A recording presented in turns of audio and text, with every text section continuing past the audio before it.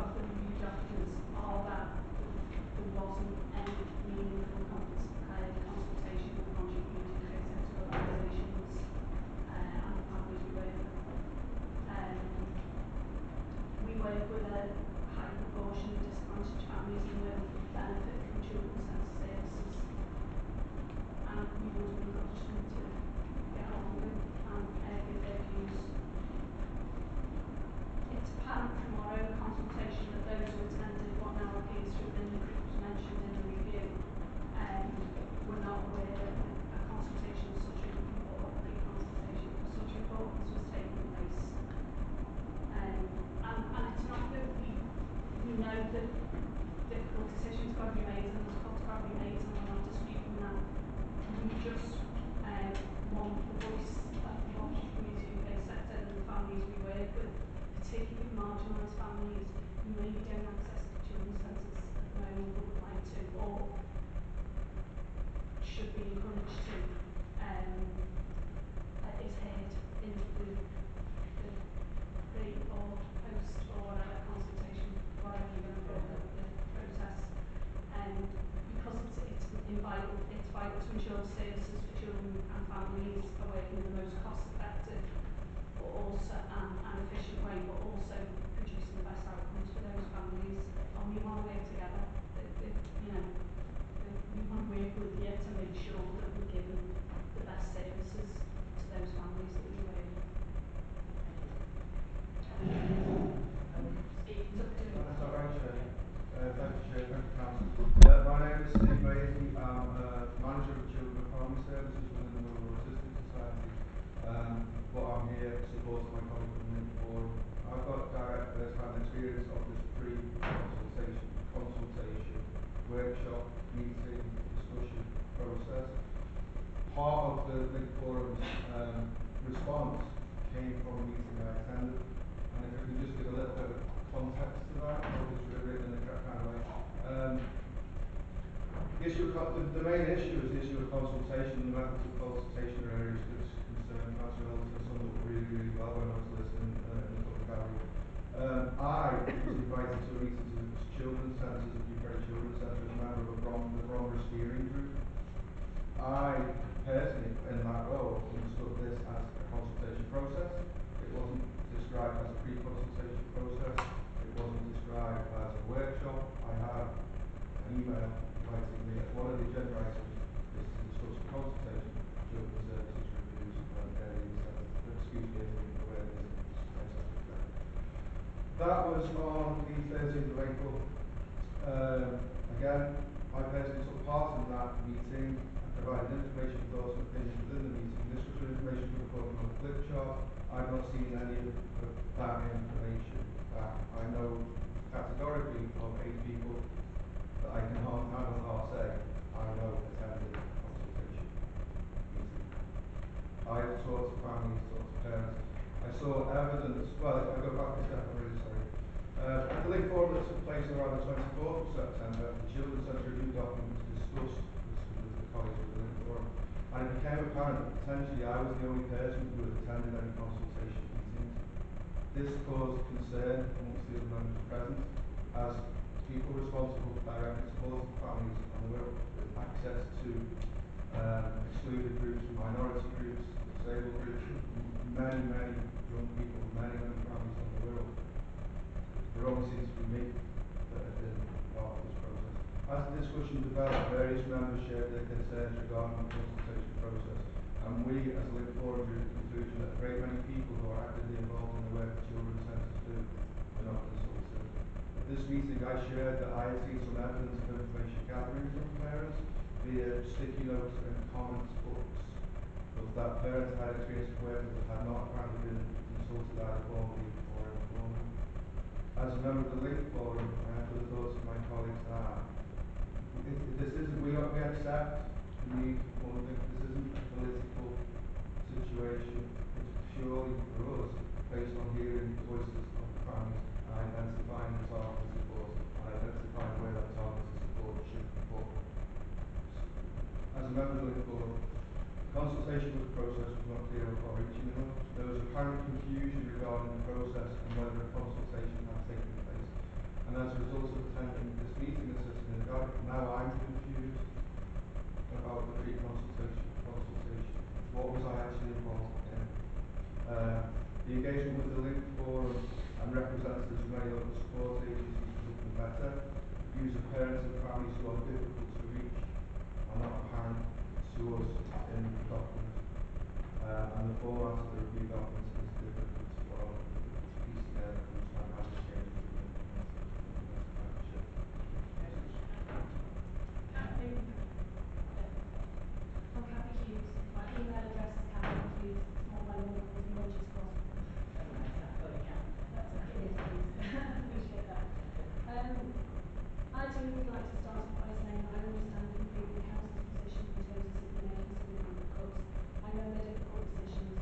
I know um, we need to look at new ways of working and I'm really heartened by the notion of delivering services because that's my approach and has been my approach for the last two and a half years since I became the head teacher of the Olympics and Adult Learning Centre. Um, and much as we've debated the issues around central government funding being unfair, I think our job is to make the decisions that we have to make as fair as possible. And I don't believe that the recommendations within the review, funding anything meet that aspiration. Um, I also need to point out that actually, if the, the, if the recommendations of the review took place, my job would be made a lot easier as a teacher. At the moment, I, um, I love my job. The centre is very violent, but it's very, very complex. I'm under three Ofsted inspection frameworks, and I'm expecting one of those three inspections at any moment. The, the system of governance is very complex, and actually fundamentally, I think the review has a lot of positive possibilities within it, but unfortunately, I don't think the level of detail is there to carry those possibilities out to fruition. I worry um, that we're missing a trick here, basically. I think that children and families will be left in a in even more difficult position because the details of the review is, is not clear. And I would like councillors tonight to have in the forefront of their minds those the two statements for me that, that keep me going in the middle of the night is the, the aspiration to protect the most vulnerable in our community and um, and then the, quote out of the review about every single child without exception should be equipped emotionally, socially and developmentally to start school ready to learn and to reach their own true potential, regardless of their ability, background and personal circumstances. I'd also like to reiterate the high aspirations and high expectations that is embedded within the SEND Code of Practice that's now law from the 1st of September 2014. Can I also remind councillors, this is actually about children. Not about words on a page. This is about fundamental differences that we make to the outcomes, the lives of those other children and the futures that they have.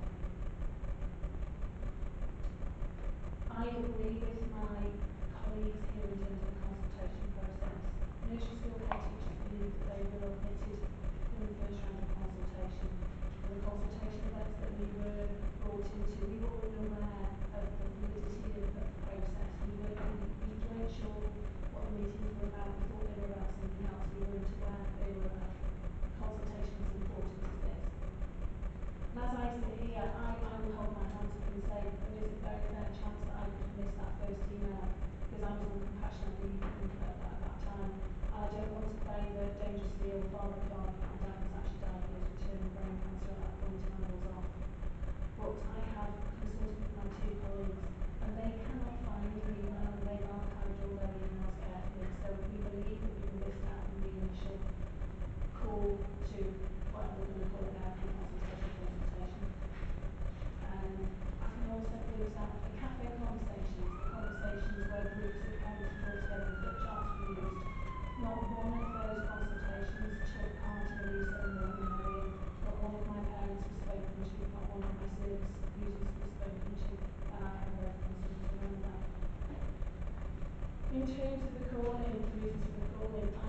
share the worry that this huge reduction of service provision will have an even adverse impact on those communities that come to rely on the valuable services offered through children's centre- centres.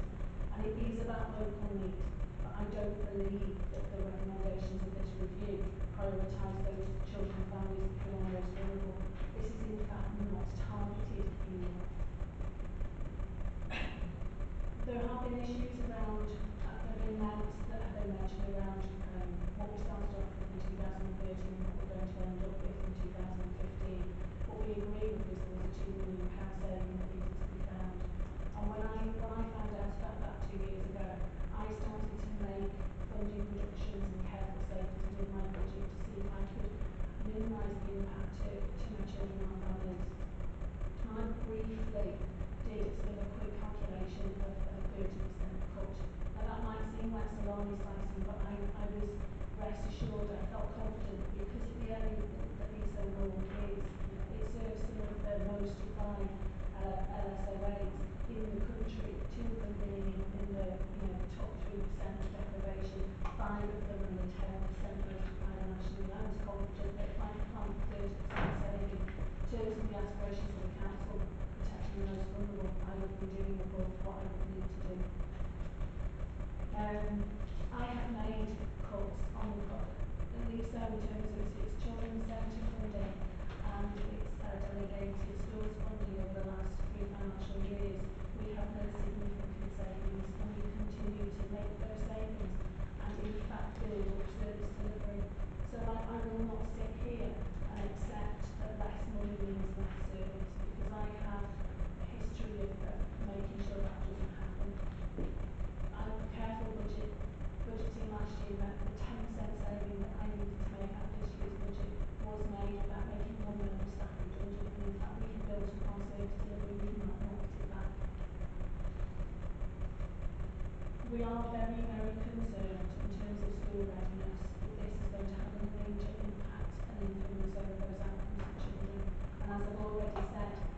Honestly believe that for children in the East Warren area will are disproportionately disadvantaged through recommendations of this review. We believe that it will reduce the number of early intervention programmes and centres across the Wirral will be able to provide particularly in those vulnerable areas. I'm talking about Wallasey and Birkenhead here, I'm not talking just about Lisa. I think it will reduce the numbers of families seeking support of centres. We have, it's going to be hard to find our two-year-olds that need two-year-old funding provision. I think it's going to increase the number of children challenging behaviour they enter school. I think it's going to reduce the numbers of children and families who exhibit school readiness. And children need to be ready for school, families need to be ready for school as well. I think it's going to increase the number of families near the crisis point who would normally have received a range of support preventative services before they get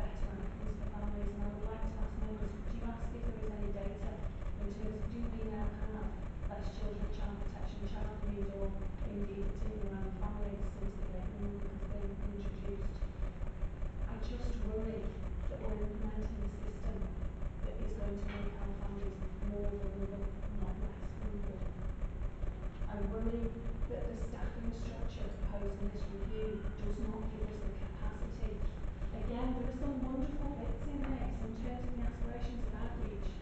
Outreach is a fabulous thing, but we do not have the capacity built into this to meet those aspirations. And again,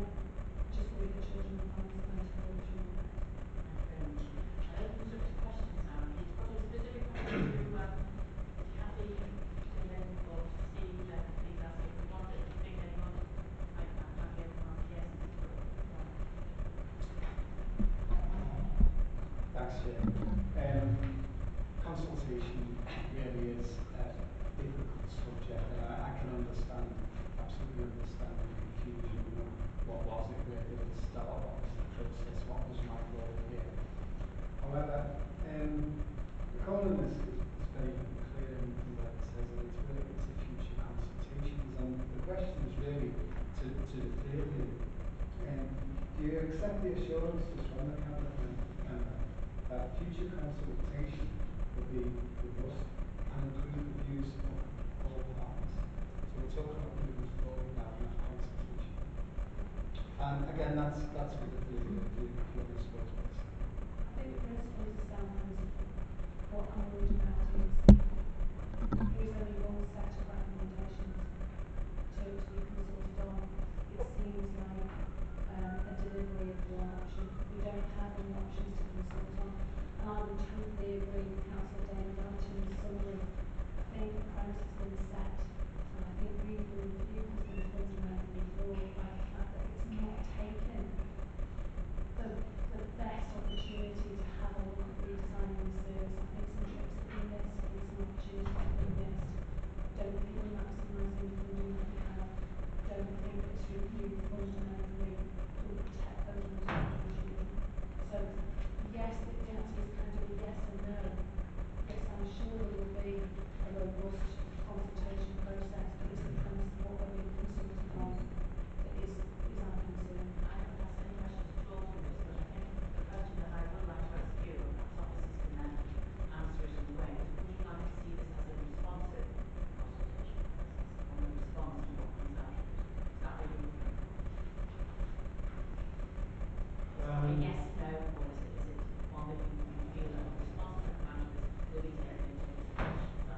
think responses will be taken into consideration. I have, I have confidence in the robust review of this document.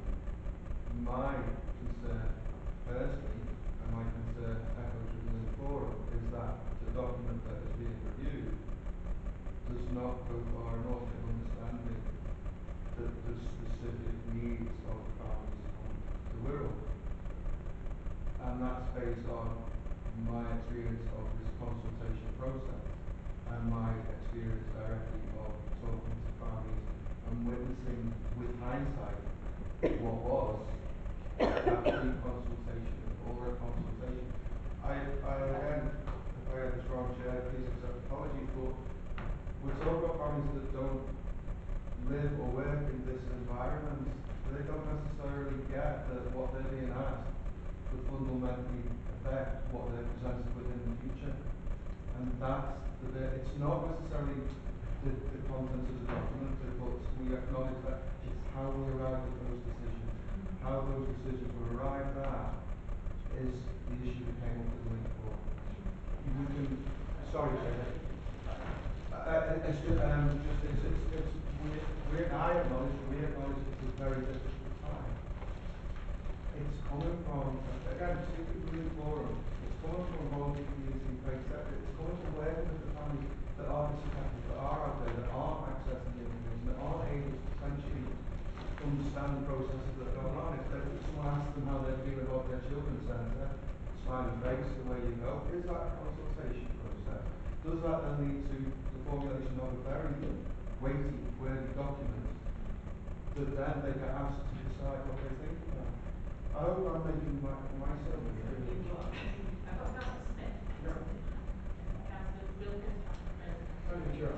Um, on a group that we Ofsted uh, reports.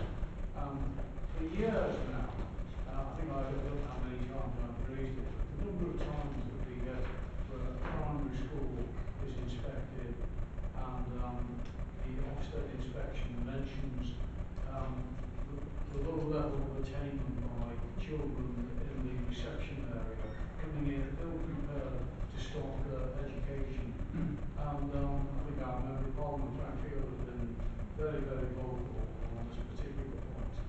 And it, it do- does seem to me that in spite of all our efforts, I know there's been tremendous efforts to improve the life of these families, that still a number fall through the net. Do. And it comes out in the cabinet report here that um, we need to target the, these families. So do you think that, you know, out of this report, if we have our outlet, outreach programs, uh, do you think we'll have greater success? Because that's what I think, uh, uh, certainly our cabinet member, I've read my, I do know Tony Smith, and I think all of us, because we're, most of us are parents, and we, we all understand that the development of children is so important, and we are terribly concerned about these families that miss out. So surely this outreach, uh, concentration on outreach ought to have better results, is that not so? Um, I, I totally agree again with the, the approach of outreach. I have an outreach team who do so, uh, four outreach workers. They are, I would describe as the lifeblood of,